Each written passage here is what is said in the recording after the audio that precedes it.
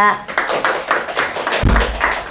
음, 아까 와이 애터미를 들으니까 저도 다시 마음이 어, 새록새록해지고 사실 오면서도 제가 어, 그 생각들을 했거든요. 오늘 무엇을 얘기할까 하다가 아, 결국 우리가 비전을 보고 가고 있는데 내가 그 비전을 보고 갈 때 내가 꿈이 있어야지 되잖아요. 어, 아까 여러분들 이렇게 얘기를 하니까 어, 꿈을 듣는 것 같았어요.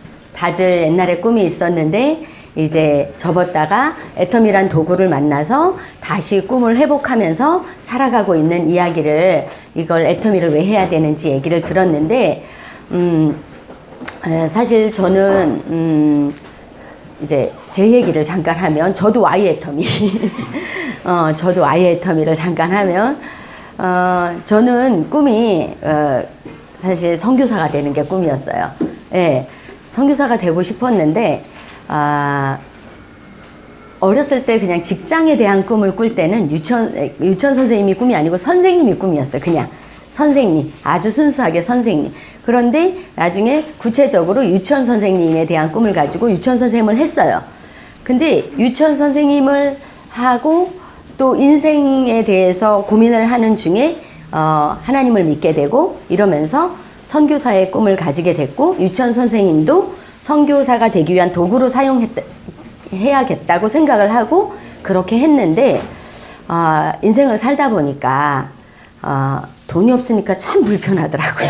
꿈과 현실은 이상과 현실. 네, 너무 많이 다르고 어, 또 여자라는 우리 그 어, 성이 그렇잖아요. 결혼을 하게 되면 이거를 또 잊어버리고 살 수밖에 없.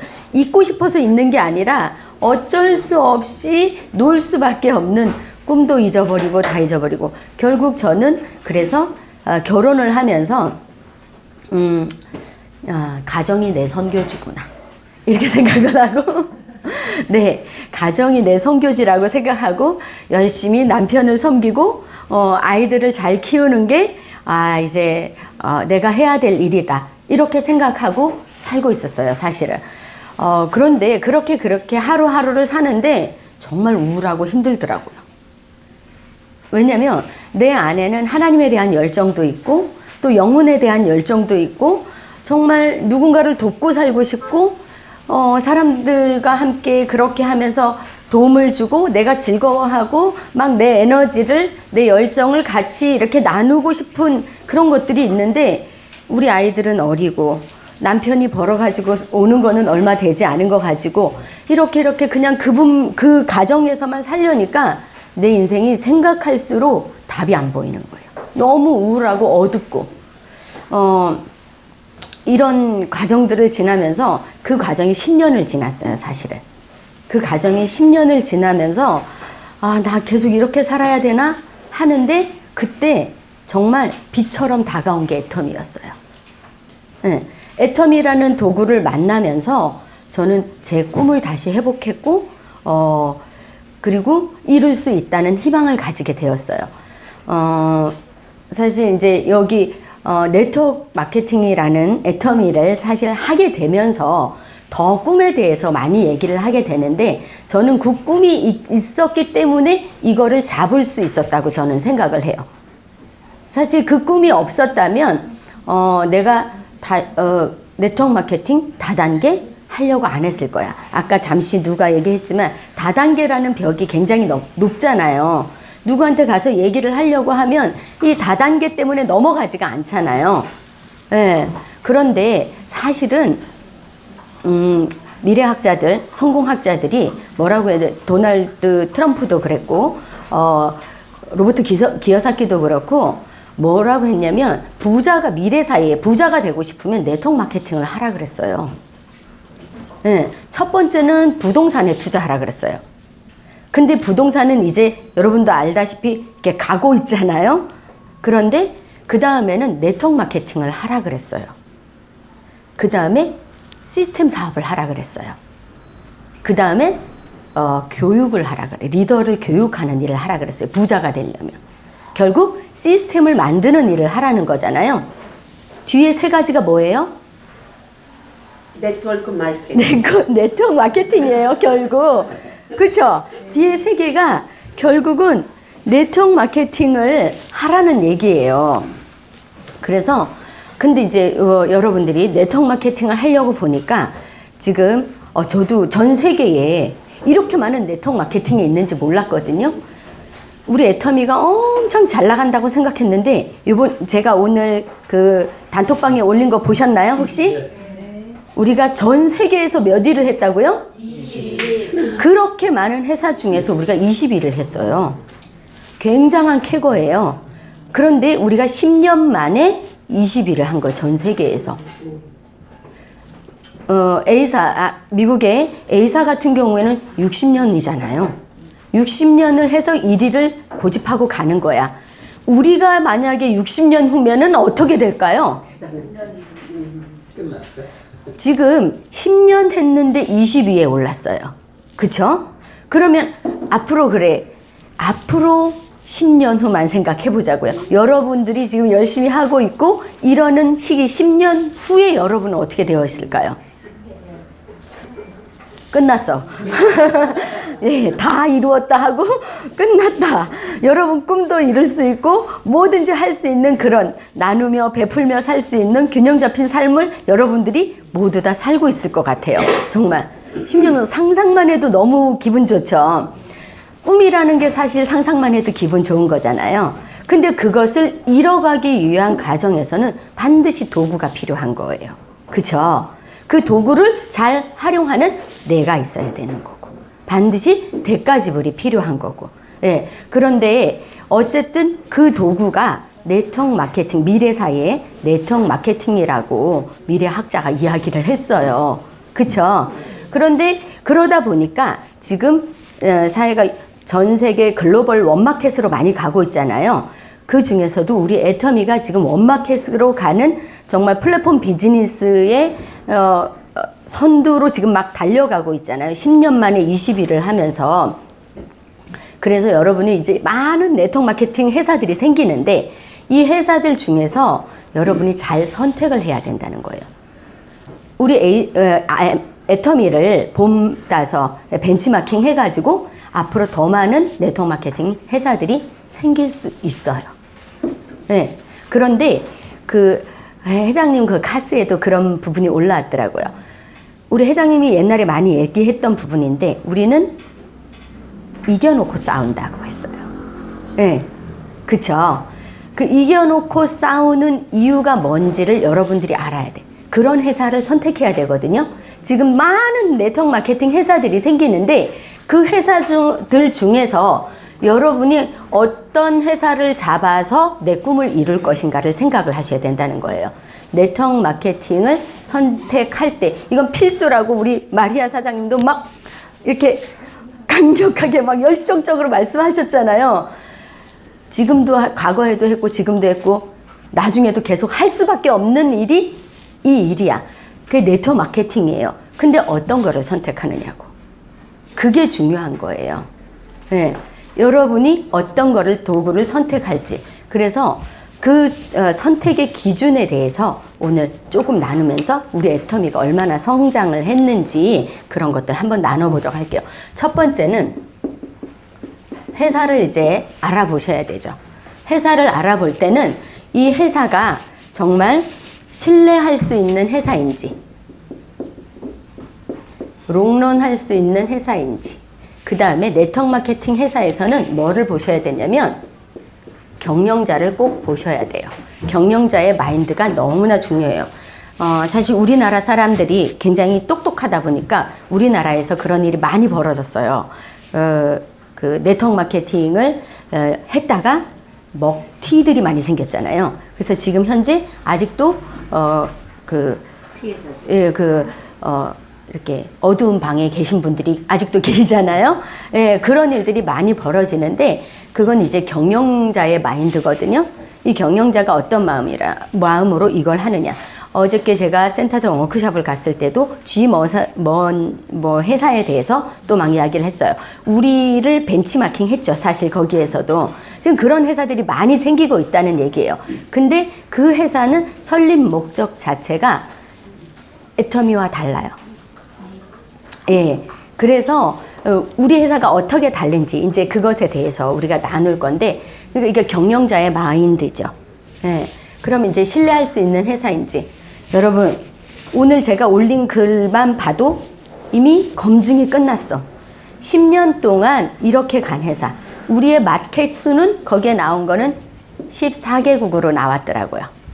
마켓 수는. 이- 이제 어, 거기 글로벌 회사를 어, 글로벌 회사 순위를 올린 거기 때문에 어, 그, 다 글로벌로 네트워크 마케팅을 하고 있는 회사들을 올린 거거든요. 근데 우리는 지금 글로벌로 나가서 14개국에 나가 있는 거예요. 그런데 우리가 지금 20위를 한 거죠. 어. 거기다가 매년 우리 한국에서만 처음에 시작해서 한국에서만도 우리는 해년 두 자리 두 자리 사, 자리 수의 성장을 계속해서 거듭해 왔어요. 예.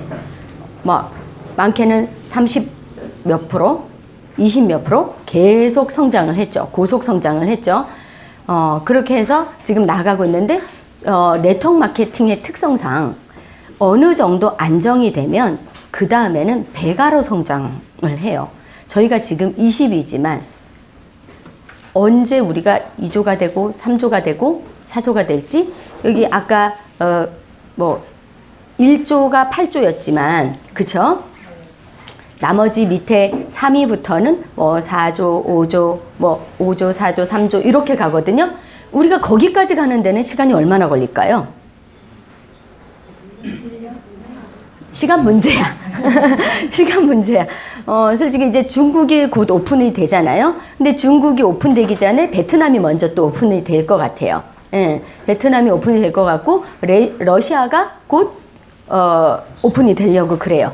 어, 그러면 우리 회사는 이미 신뢰라는 게 한국에서 신용등급 AAL을 넘어서서 글로벌로도 지금 계속해서 롱런하고 있다는 거죠. 10년 했는데 14개국이 오픈을 했고 앞으로 향후 어 향후 우리는 20개국까지 오픈을 할 계획에 내년 내년 정도까지. 예. 그러면 어 올해 벌써 예정된 나라가 몇 나라가 지정돼 있잖아요. 그런 내년에 또 더 많은 나라가 오픈될 거야. 여기서 조금 나라 오픈하는 걸 적게 하는 거는 중국 한 나라만 해도 우리는 몇 나라로 보면 돼요? 중국이 33개의 성이 있어요. 예. 33개국으로 봐도 돼요. 예. 여러분 가서 한 나라만 잡으셔도 돼. 정말. 근데 복권성. 복권성 잡으실래요? 네, 복권성 우리 마리아 사장님에게 드리겠습니다. 산에 산에 교포 사인도 있어. 네, 네, 네. 이렇게 해서 우리 회사는 계속 신뢰를 받고 롱런 할 수밖에 없게 이제 구조가 만들어져 있, 있다는 거죠. 이미 이거는 사회적으로 계속 언론에서 보도를 하면서도 검증이 되어 가고 있는 거예요. 여러분, 이거를 알아보는 데는 많은 시간이 필요하지 않아요. 몇 개의 자료만 보면 여러분, 제가 얘기하는 것보다 더 잘 알 수 있죠. 자, 그럼 이제 경영자가 되게 중요한데 저는 이 경영자에 대해서 좀 더 얘기를 하고 싶어요. 이 경영자의 마인드는 우리가 그걸 보면 알 수 있어요. 회장, 어, 박한길 회장님이 처음에 돈을 벌려고 이 일을 시작한 게 아니시더라고요. 음, 돈을 많이 벌어서 애터미 회사를 차려서 자기가 성공한 CEO가 되겠다고 이거를 한 게 아니라 처음에 그냥 어, 건강이 안 좋은 상태였기 때문에 총판권 경기 총판권 받아가지고 어, 내가 죽기 전에 시한부 인생인데 죽기 전에 어, 몇 사람이라도 구원을 하고 이걸로 우리 가족이 좀 먹고 살 수 있도록 마련을 해놓고 내가 가야겠다. 이 마음을 먹고 경기 총판권을 따로 어, 한국 원자력 연구원에 가셨고 한국 콜마를 가, 가서 애터미를 만나게 된 거예요. 근데 그때 애터미가 생긴 게 아니라 그때는 회사도 없었어요. 회사 이름도 없이 회장님이 돈도 없으셔갖고 주민등록증을 주고 물건을 받아다가 팔기 시작했어요. 방판회사로 시작했죠. 저희가 원래 10년 됐다고 해서 2009년부터로 생각을 하는데 2006년부터 우리가 방판을 했죠. 그리고 2009년도부터 어 이제 예 네트워크 마케팅으로 정식으로 이제 해, 그 가입을 하고 어, 시작을 했어요. 이때까지 방판을 할그 시절에 어, 회장님이 그런 식으로 하셨던 거예요. 그래서 어, 예, 지난주에 이제 사옥 준공식이 있었잖아요. 예, 사옥 준공식에 또 저희가 역사적인 자리에 다녀왔어요. 부러웠어. 예? 부러웠어. 그쵸. 그런데요, 애터미엔 성공자가 얼마나 많은지요. 리더스들은요, 밥도 밖에서 먹어요. 이게 애터미가 이래요. 연봉 1억이 넘어도요, 대우 못 받는 회사가 애터미예요. 이거 너무 비전 아니에요? 저희 그날 되게 추웠거든요. 나중에 비 오고 추웠어요. 막 날이 엄청 흐리고 굉장히 추운 날이었는데 애찬을 한다 그래서 사옥 멋진 애찬실에서 우리가 밥을 먹겠구나 그러고 막 가는데 리더스들은 삐장소로 가래. 삐장소가 어디야? 하고 찾았더니 바깥에 천막을 쳐놨더라고요. 그 천막에서 밥을 먹었어요. 얼마나 추운지. 근데 맛있긴 하더라고요. 음식은 굉장히 맛있어서 두 번씩 먹었어요. 그런데 어쨌든 이런 리더스들도 대접을 못 받아. 근데 처음 회장님이 시작할 때는 2009년도에 2006년도에 방판을 시작할 때는 회장님이 어, 280만 원짜리 카니발을 타고 시작을 하셨잖아요. 그게 사무실이고 또 그 물류 창고고, 예, 아, 걸어 다니는 본인의 영업장이고, 어, 그랬던 거예요. 그렇게 해서 시작하셨다는 이야기를 또 이제 그 자리에서도 말씀을 하시는 거예요. 그러면서 사옥에 대한 다- 이야기를 하시겠죠. 여러분도 얘기 많이 들어서 아시겠지만 A4지에 그 영상을 띄우는데 저도 너무 찡하더라고요. A4지에 애터미 이렇게 써놓고 어, 시작을 한 거예요. 비도 새는 4층 사무실에 어, 그날 말씀을 하시더라고요. 그 다음에 옮긴 데가 아, 있는데 거기는 3층이었대요. 근데 그것도 맨 꼭대기층, 3층, 거기에서도 3층이, 거기도 비가 샜대요. 왜 하필 3층이야? 그랬더니 3층이 싸대요. 네, 싸대요. 그래서 거기를 얻어서 시작을 했다는 거예요.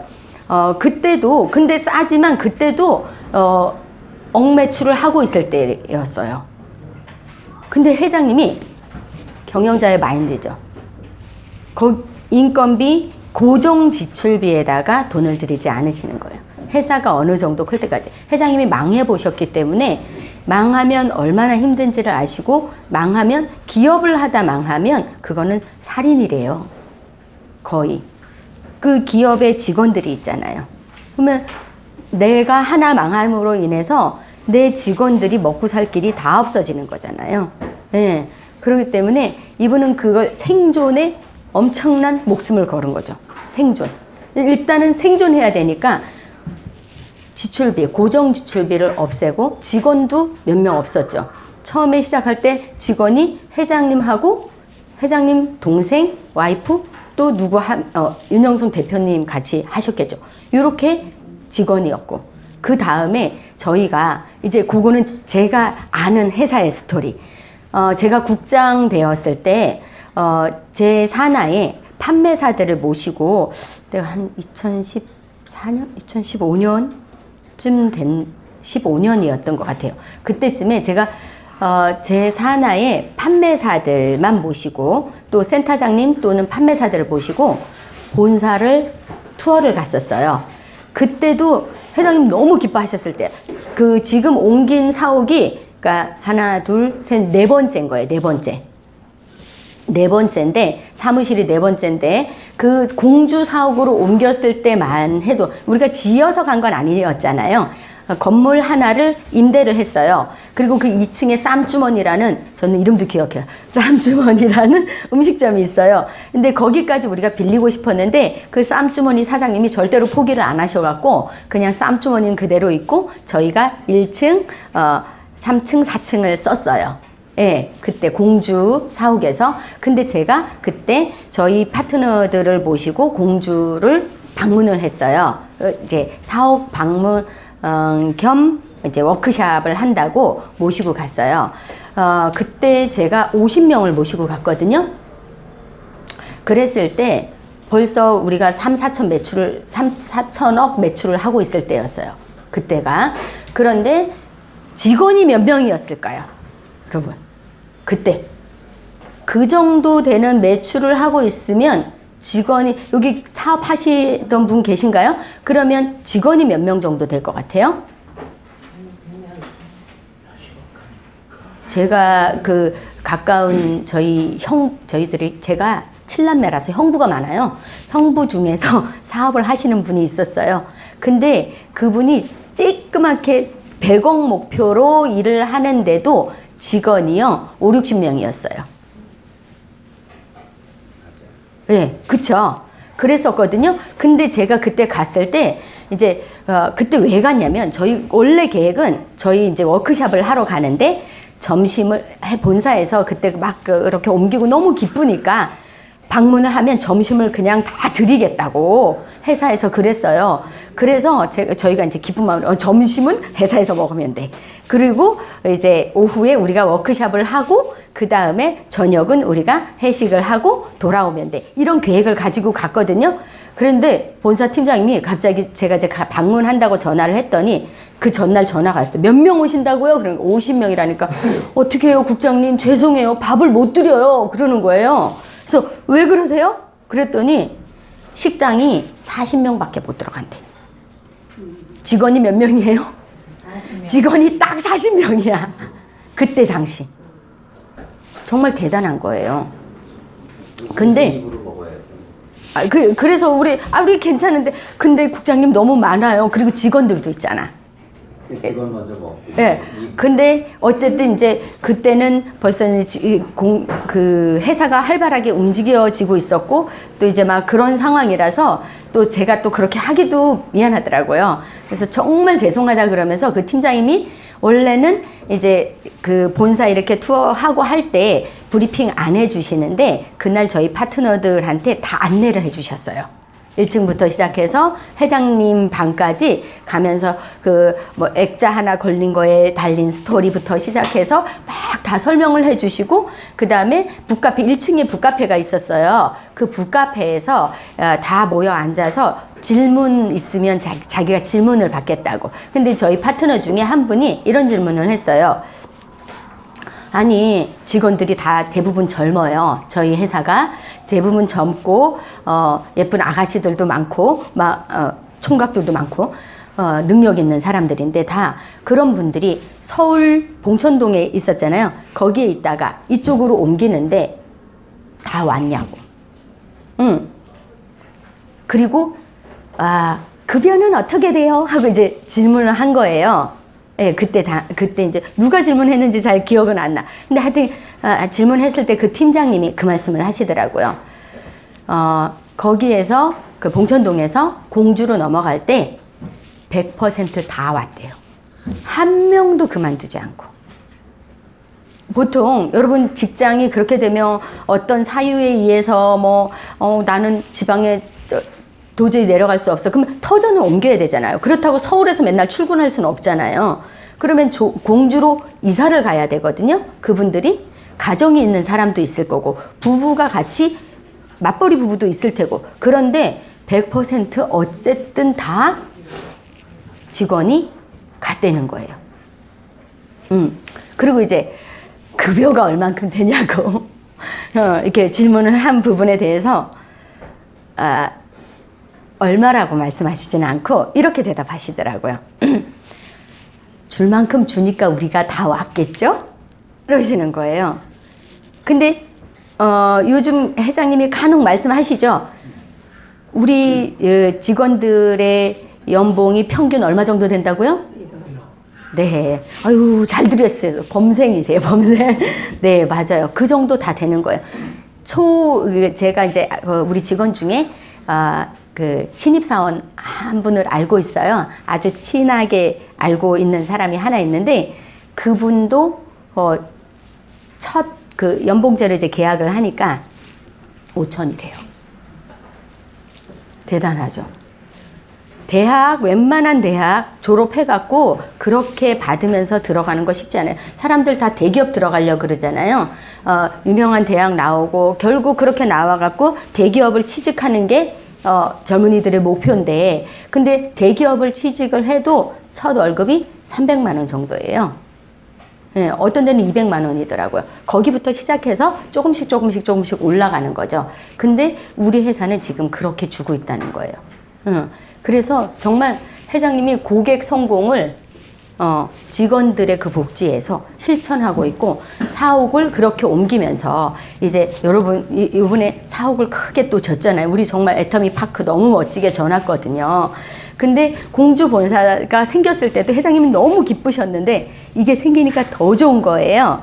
어, 그런데 이렇게 옮겨가고 어, 이렇게 생기고 하면 어, 그, 그 건물을 엄청 멋지게 졌는데 공사비가 어마어마하게 나오겠죠. 예. 그런데 건축도 우리 회장님은 아니까. 안 값했어. 근데 사람들이 그때 벌써 무슨 얘기가 있었냐면, 어, 뭐 회사가, 뭐 네트워크 회사가 본사를 짓다가 망한 회사가 있어요. 어, 뭐 네트워크 회사가 본사 사옥을 크게 짓다가 망한 회사가 있거든요. 서울에다가. 어, 그러니까 이제 그 회원들 중에 우려하시는 분들이 있었어. 그 누가 그걸 질문을 했던 것 같아요. 그때도 파트너 중에 누가 그러니까 뭐라고 질문했냐면 아니 지- 회장님이 사옥을 다시 지을 계획을 가지고 계시다 그러는데 굳이 사옥을 지어야 되냐? 왜 이제 이분은 그런 편견이 있었던 거예요. 사옥을 짓다가 망할 수도 있는데 이런 생각을 하신 거죠. 그래서 그럴 수도 있는데 어, 꼭 사옥을 지어야 되냐? 그랬더니 그 본사 이제 직원께서 말씀을 해주셨어요. 어, 어, 팀장님인데 그분 직책은 팀장님이었어. 어 근데 그분이 그러시더라고요. 어 여러분도 알고 있는 내용인데 서울에 본사가 있다가 지방으로 내려가면 어 법인세를 50% 감면해 준대요. 그 50% 감면한 걸로 지금 쌓아놓고 있다는 거야. 본사 질 거를. 그때 당시만 해도 우리 매출이 그때 3차천억 할 때였는데 거기를 옮기면서 한 달에 어 1년에 법인세가 200억이 남았대요. 법인세 내는 게 50% 감면되니까 200억이 남았대요. 그때 그때 그 말씀을 하셨어요. 200억이 남았는데 우리 매출이 제가 아까 두 자릿수로 계속해서 성장했다 그랬잖아요. 지금 1조잖아요. 3, 4천억 할 때 그랬으면 우리가 지금 거기로 옮기고 나서도 몇 년이 지났어. 3, 4년이 지난 후에 지금 사옥을 짓고 들어간 거거든요. 그러면 그 모은 거 가지고 충분히 짓고도 남는다고. 그때 그 말씀을 하셨거든요. 그 팀장님이. 그 법인세 감면 받은 것만으로 여러분한테 돈 안 걷는다고. 그렇게 하려면 어떻게 되냐면 여러분한테 돈 안 걷는다는 얘기는 무슨 얘기냐면 이게 이제 경영자의 마인드에서 나오는 거예요. 여러분 해모힘 제품값 해모힘이 처음에 30%로 시작을 했잖아요. 저희가 그쵸? 30%로 시작을 했는데 30%가 76,500원이었어요. 우리가 처음 계약을 할 때 근데 이때 당시 해모임이 60호에 시중에서 77만 원에 팔리고 있었죠. 예. 그랬는데 30호에 76,500원이야. 우리 회장님 양심상 30호면 반달이잖아요. 그래도 한 달은 끊어야 되잖아요. 그래서 이 한 달을 채우려고 무진장 노력을 하십니다. 42포, 48포, 54포.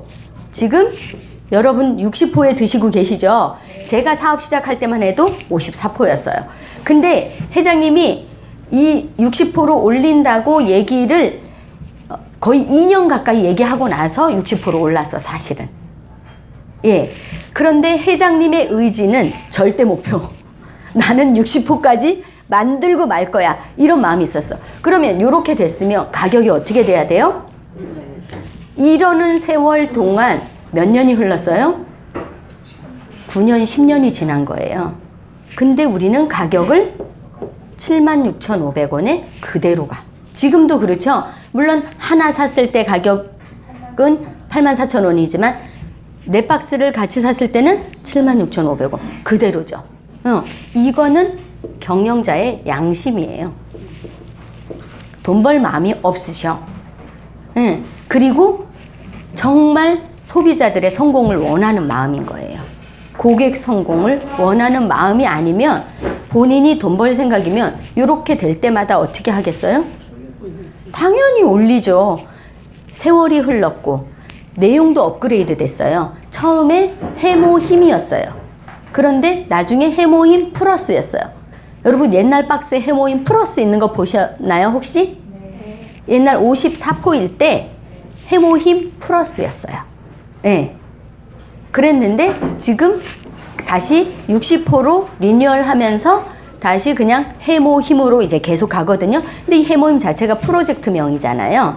어, 건강, 그, 국민들의 건강 증진을 위해서 원자력 연구원에 이제 뭐를 만들어라, 니네들이. 그렇게 하고 프로젝트명으로 준 게 해모 힘이었거든요. 어, 근데 엄청난 제품이죠. 이거를 계속해서 근데 업그레이드를 한다는 거예요. 왜 업그레이드가 되냐면 저희가 한국 콜마랑 어, 원자력 연구원하고 손을 잡을 때 기술 이전 방식이 아니라 기술 출자 방식으로 어, 계약을 맺었어요. 그러면 그 얘기는 기술을 그냥 한번 기- 워낙 가- 자기가 가진 기술을 다른 데다가 팔기도 하거든요. 그럼 팔면 끝, 끝이야. 그 기술을. 예. 근데 우리는 기술 출자 방식으로 해서 계속해서 업그레이드를 해주는 거예요. 근데 그 업그레이드 할 때마다 우리가 연구비를 더 주나? 아니에요. 국가기관이기 때문에 거기서 계속해요. 근데 그런 방식으로 우리가 계약을 맺은 거예요. 그래서 해모임에서 해모임 플러스, 나중에 해모임 트러, 트리플 플러스 되는 거 아니야? 막 그랬거든요. 근데 나중에 그냥 해모임으로 통일했어요. 근데 계속해서 업그레이드 하고 있죠. 저희는. 왜? 업그레이드 해야죠. 세상에 좋은 게 얼마나 점점 많이 나오는데. 그럼 그럴 때마다 우리가 유통시장에서 볼 때 통상적으로 가격이 어떻게 돼야 돼요?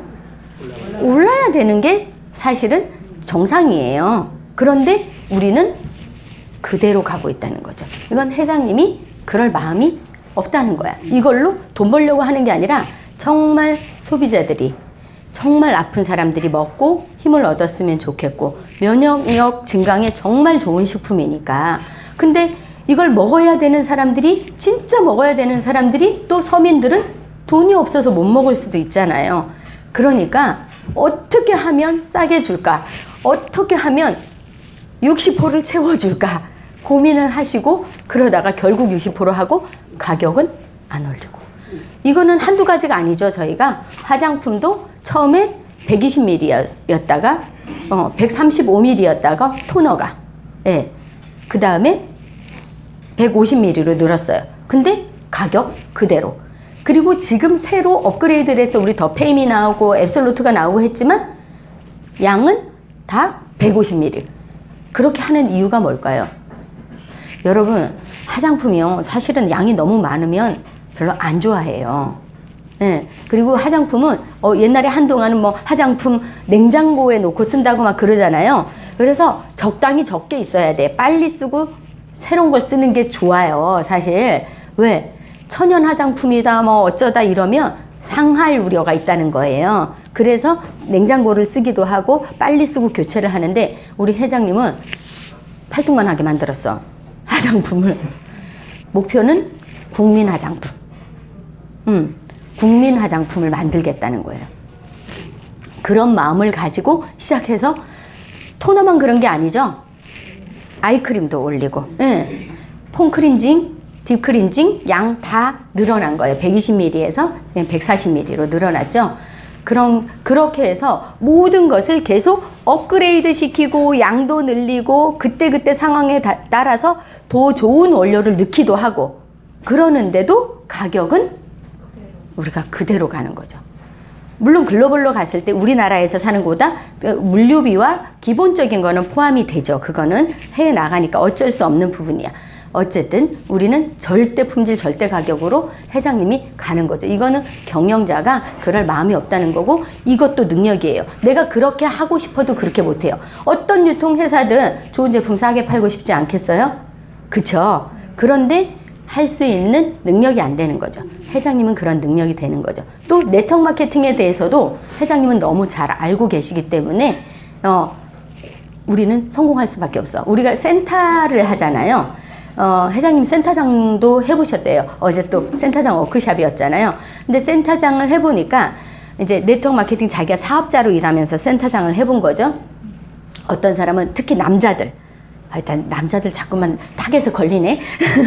어, 죄송한데 어쨌든 남자들은 뭘 하나 해놓고 나 짱이야. 어, 뭐 이런 마음. 그 다음에 이거 해놓으면 자동으로 굴러가서 돈이 들어와. 뭐, 뭐 사무실 내놨으니까. 뭐 이런 이렇게 이 가오를 좀 잡고 싶고 이런 마음들이 있어서 이렇게 생각을 하는데 센터는 돈 버는 곳이 아니라는 거죠. 센터를 해서 돈을 버는 것이 아니라 센터는 어제도 말씀하셨어요. 섬기는 거. 예. 많이 더 많이 섬기고 더 많이 애쓰는 사람이 센터장이어야 된다고. 예. 그러면서 어그 센터에 매일 출근하시는 센터장님 한번 손들어 보라 그러더라고요. 몇 계시더라고요.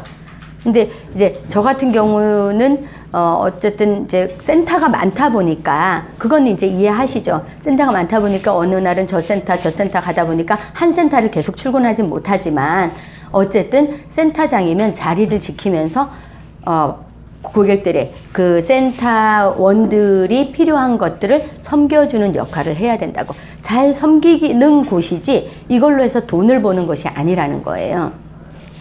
돈을 너무 많이 줬더니 다 센터만 낼라 그래 또.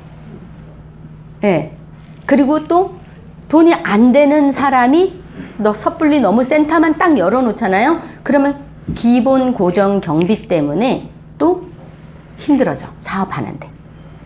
그래서 저희는 뭐 센터장이 되려면 뭐 판매사를 뭐 어, 계속 유지하는 분이라든가 뭐 이런 조건이 있죠. 그런 조건을 둔 게 다 그게 사업자를 위해서 그렇게 둔 거거든요. 그래서 적당히 교육 수당을 주는 거예요. 저희는 교육 수당을 어, 센터 교육 수당을 6%를 주거든요. 그 센터 매출의 6%를 어, 이제 돈으로 환산해서 어, 센터장님한테 그냥 어, 임대료라도 좀 보태라고 어, 주시는 거예요. 그러니까 오- 여기 우리 센터를 이렇게 내주신 우리 차영수 국장님한테 여러분은 되게 감사해야 돼. 사실은 이런 장소가 필요한데 내주시고 헌신하시고 봉사하고 계신 거거든요. 그래서 그런 역할을 하시는 분이 어, 우리 그 센터장님들이세요. 우리 센터장님한테 박수 한번 쳐드릴까요? 네, 너무 감사하죠. 우리 정국장님하고 두 분이 정말 애쓰고 계시는 거 제가 다 듣고 있거든요. 너무 감사해요. 어쨌든 그런 역할을 하는 게 센터장이고 이것도 회장님이 해봤으니까 아신다는 거예요.